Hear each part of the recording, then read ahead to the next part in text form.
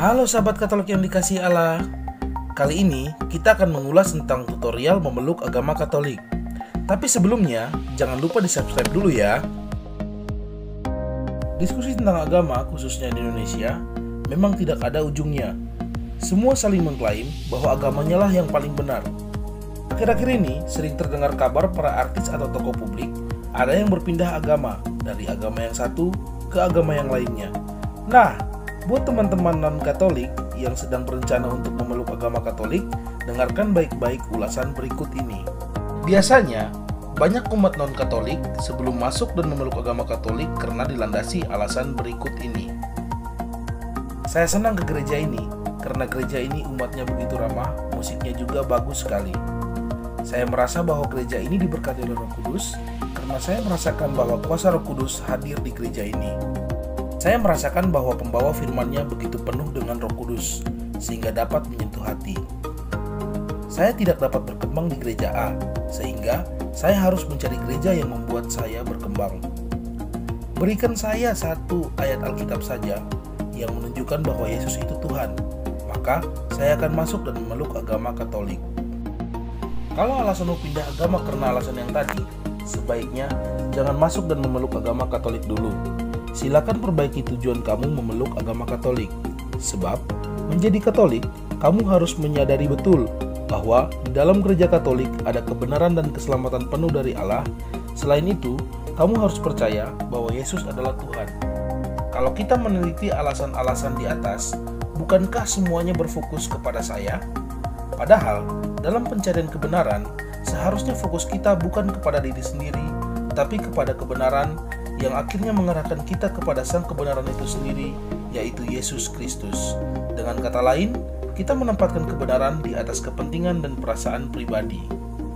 Selain itu, ada empat tahap yang umumnya harus kamu persiapkan sebelum diterima menjadi umat Katolik, yang di antaranya adalah sebagai berikut ini.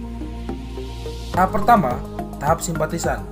Di tahap ini, kamu harus mempunyai niat dalam diri sendiri untuk menjadi Katolik. Keinginan tersebut bisa muncul dari pengalaman pribadi atau setelah mempelajari sesuatu, misalnya belajar tentang Katolik. Tahap kedua, tahap katekumen. Di tahap ini, kamu akan menjalani masa belajar tentang Katolik minimal 6 bulan hingga setahun dengan jumlah pertemuan yang intens setiap minggunya untuk belajar. Di beberapa tempat, jangka waktu tersebut dipersingkat menjadi tiga bulan, namun jumlah pertemuannya pasti lebih rutin lagi. Selama masa belajar atau katekumen, kamu tidak boleh bolos atau absen. Kalau kebanyakan absen, pasti tidak dapat rekomendasi untuk dibaptis atau masa katekumenmu diperpanjang, bisa sampai 2 tahun atau tidak direkomendasikan untuk dibaptis. Di tahap ini, kamu akan didampingi seorang atau lebih pendamping yang sudah ditetapkan oleh pihak gereja Katolik. Para pendamping juga akan ikut memantau setiap perkembangan kamu selama mengikuti katekumen.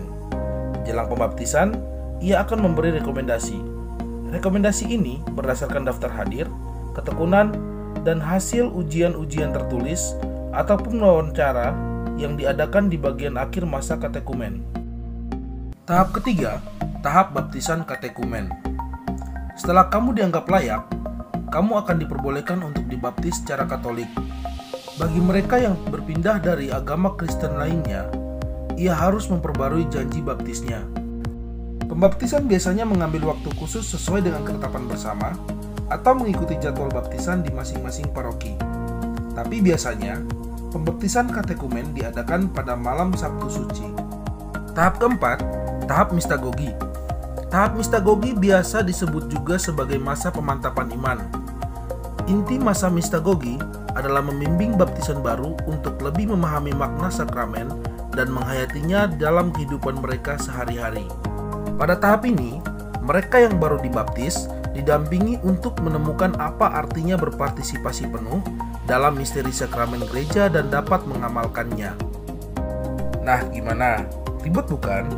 Tapi kalau kamu sungguh-sungguh menyadari akan kebenaran dan keselamatan penuh yang ada di gereja Katolik, maka dengan semangat dan hati yang terbuka kamu akan melalui semua proses itu dengan baik tanpa terbebani.